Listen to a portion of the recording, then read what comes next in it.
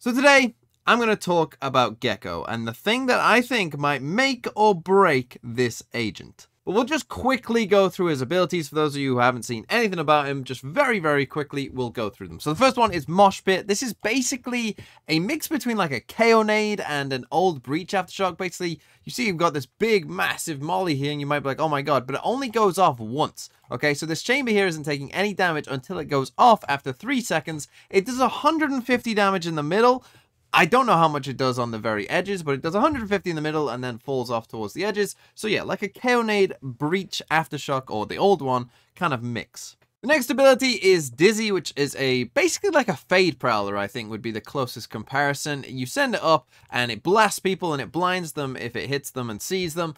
And uh, then the thing is with Dizzy though, and this is true for all of the other abilities other than Mosh Pit, is that you can come and reclaim it as you are seeing just here. And that means that you will get the ability back after 10 seconds uh, rather than having to wait like a normal 40 for other initiators.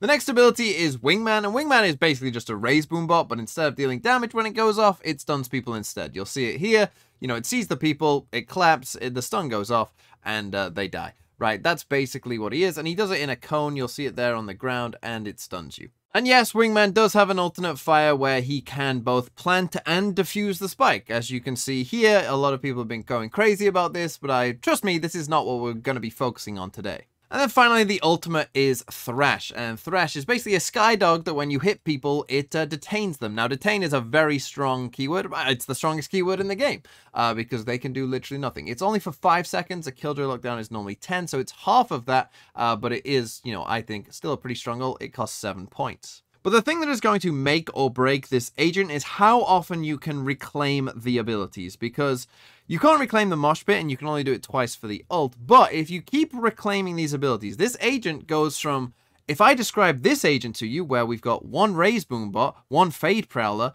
and one kind of bad KO Molly, you'd probably like, that's not a great agent at all. That's probably the weakest agent in the game. But if I said to you, oh, the new agent's got one bad KO Molly, but it's got four or five Fade Prowlers and two Raze Boombots in a round, you'd probably like, oh, that sounds pretty good.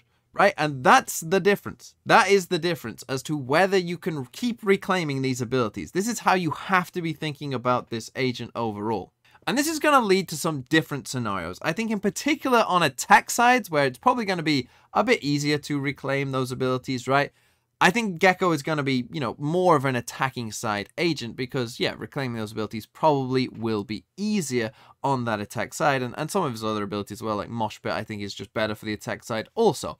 So I think on attacking side, he will be pretty good. But on defensive side, you need, I think you need to be finding ways of being proactive with the abilities and you know taking space on defensive side and then being able to reclaim those abilities as well so you can have them again. Because if you aren't and you only have one fade prowler one boombot and a bad ko molly yeah that's not gonna be a great defensive agent at all. And so that is the thing that really really matters and so what we're going to do is we're going to take a look at Fracture and we're going to play out what I think like a, a, good round of Gekko might look like. And you'll see how scary potentially Gekko can be if we are playing the agent correctly, right? So let's say we're starting out here on Fracture and let's say we want to start our Gekko is going to be played by Yoru here. Let's say we want to start off with a bit of pressure towards uh, towards the drop here. And uh, so what we're going to do is we're going to send out our first ability, which is our, our E here. And we're going to, you know, that's like a Fade Prowler. So let's say we send a Fade Prowler down here. And let's say it does hit the Raze, right? So our Raze here, our enemy Raze,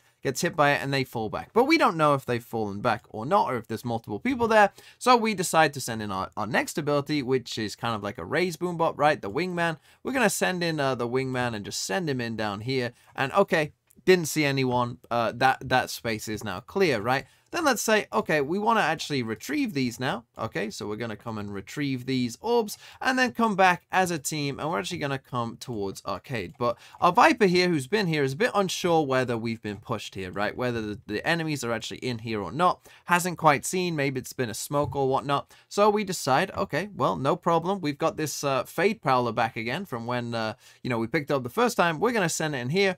Okay, there's no one there. Right? And so we come up here and, and, we start to take a bit of space. Now we got our boombot back as well, so we're going to send in our second boombot of the round, and we're going to send it down here, right? And it's going to clear all this out for us. Okay, no one's there either. We're going to pick back up this Fade Prowler.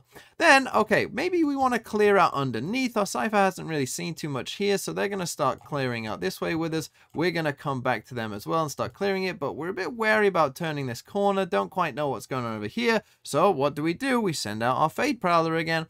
In it comes. Wee wee. Send it in. Okay, yeah, no one's there again. Okay, I'm going to come pick this back up. And, uh, you know, we're starting to come in here as well. Okay, we're getting ready for this split exec to come in onto the site. So what am I going to do? I'm going to send in uh, another Fade Prowler because we've waited enough time. And I'm going to send in my Skydog ult and uh, and manage to uh, detain uh, the Astra here. In we come. Astra's dead. Yay, yay, yay. We get the site. And uh, I'm going to come pick this back up again and uh, pick both of these up as we come in, secure the site and plant the spike. And so now I've got a second Skydog here that I can use for the post plant. I'm going to come down here. I'm going to send in my Fade Prowler just quickly as the opponents maybe are coming, you know, in onto the site now or whatnot. I'm going to send that in. Maybe it hits them or maybe it doesn't. Doesn't really matter. And I'm going to send in my second ult here and detain them. And then, oh, just for good kicks and giggles, uh, we've got uh, this as well uh, to put a KO Molly on the spike for post plant sounds pretty good, right? So we just use one, two, three, four, five, six, seven, eight, nine, nine abilities in this round. And that is what a good Gekko will look like, right? That is the crucial, crucial difference. Because if we only use three abilities in a round, that's no good, right? But if we can do this, then that's going to be OP, right? And so that is going to be the crux of this agent. How easy is that to do? I don't know right now. None of us probably do. Uh, but if this is even remotely plausible that this could happen, you know, fairly often in a round, then this agent is going to be very, very strong, of course, because you can just overwhelm your opponents with so much utility from just one agent. And that is going to be so, so big to figuring out, you know, where this agent is going to be good and how this agent should be used. But there I kind of gave you like the best case how you want to be playing this agent scenario. And I think for attack side, it is going to be pretty good. But on defense side, this agent could be pretty weak. I think the Molly is much weaker on the defensive side. And also, I think it's going to be harder to pick up those orbs on defensive side, right? For instance, let's say that, you know, we do the same thing. Let's say we're defending B main here on Ascent, right? And so we send out, you know, our, our, our Raze Boombot, you know, which is very similar to the Raze Boombot here, our Wingman. He's going to come in B main. Maybe it gets shot, maybe it doesn't. But if the orb ends up here, am I going to come running out here on my own? You know, open to, you know, all these angles down here? Probably not, right? And so that is going to be a main difference that you have to be very, very proactive with this agent. You have to be, you know, taking space and wanting to reclaim those orbs because the difference between having three abilities and having, you know, eight or nine is absolutely monumental, right? It's such a massive gap. And so that is how you should be thinking about playing this agent and trying to just reclaim those orbs as often as you can and then just spam your opponents with abilities all throughout the game.